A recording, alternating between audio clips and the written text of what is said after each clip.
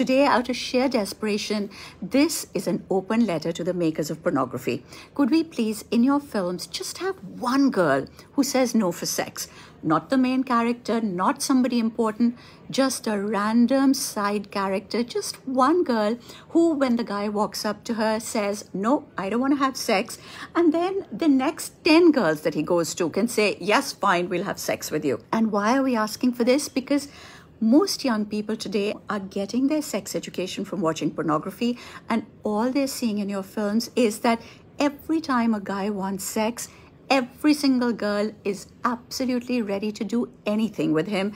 And as you know, that is never going to happen in real life. Unfortunately, however, this is what is sinking into their heads. And there is an entire wave of young people growing up without even the concept of the word consent without even realizing that no is a valid word, that girls have their own feelings and that they have the right to turn you down. And you have no idea just how much sexual violence this is leading to. And so, please, just one girl per film saying no for sex, that's all we're asking. It would be such a small thing for you, but trust me, for society, it would be the hugest step forward.